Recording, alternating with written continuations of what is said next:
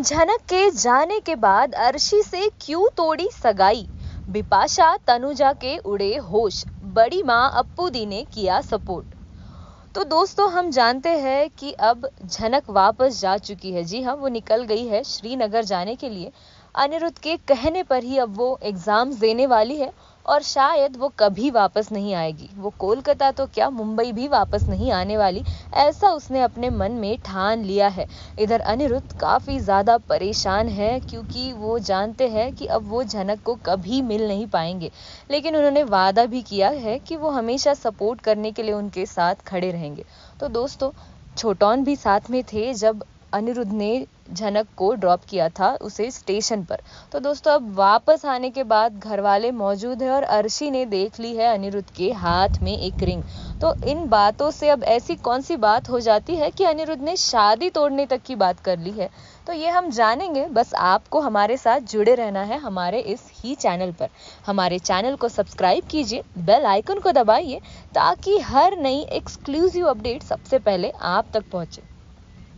तो दोस्तों, अनिरुद्ध पहले ही काफ़ी परेशान है, बहुत ज़्यादा इमोशनल है और ऐसी हालत में वो वापस आते हैं घर और घर आकर देखते हैं तो घर वालों के साथ साथ अर्शी भी मौजूद है और वो वेट कर रही थी अनिरुद्ध का क्योंकि उसे मिलना था अनिरुद्ध से और इसी के साथ साथ अब उसने देख लिया है अनिरुद्ध के हाथ में एक नई अंगूठी। जी हाँ काफ़ी महँगी अंगूठी है और जब अर्शी ये देख लेती है तो पूछती है कि आखिर ये अंगूठी कहाँ से मिली है और तुम इसे क्यों पहन कर हो?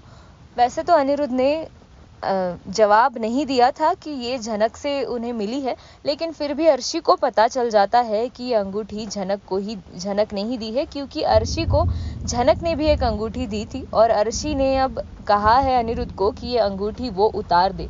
लेकिन जैसा कि हम जानते हैं कि अनिरुद्ध ने वादा किया है कि वो ये अंगूठी कभी नहीं उतारने वाला है तो इसीलिए अब अनिरुद्ध ने भी मना कर दिया है कि तुम्हें अगर मुझ पर ट्रस्ट ही नहीं है तो फिर क्या फ़ायदा है इस रिश्ते का? जी हाँ दोस्तों, और अर्शी ने भी काफ़ी कुछ बोला है झनक के कैरेक्टर के बारे में। जो बात अनिरुद्ध सुन ही नहीं सकते, वो बात कह दी है अर्शी ने। और इसी के साथ साथ अब अनिरुद्ध को काफ़ी ज़्यादा गुस्सा आ गया है और उस, उन्होंने ये कहा है अर्शी को कि अगर तुम्हें मुझ पर ट्रस्ट ही नहीं है तो इस रिश्ते को आगे बढ़ाकर क्या फ़ायदा है?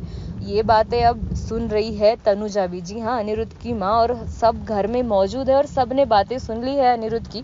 और अब अनिरुद्ध ने मना किया है शादी के लिए। जी हाँ और अनिरुद्ध अब तोड़ना चाहते हैं इस रिश्ते को।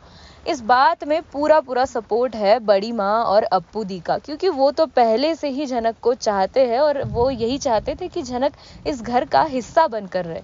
तो दोस्तों, अब जब तनुजा और बिपाशा को ये बात पता चलेगी तो आखिर और क्या क्या ड्रामा होने वाला है, ये हम आपको बताएँगे। बस आपको हमारे साथ ही जुड़े रहना है, हमारे इस ही चैनल पर। हमारे चैनल को सब्सक्राइब कीजिए, बेल आइकन को दबाइए, इस वीडियो को भी लाइक कीजिए और ज़्यादा से ज़्यादा शेयर कीजिए।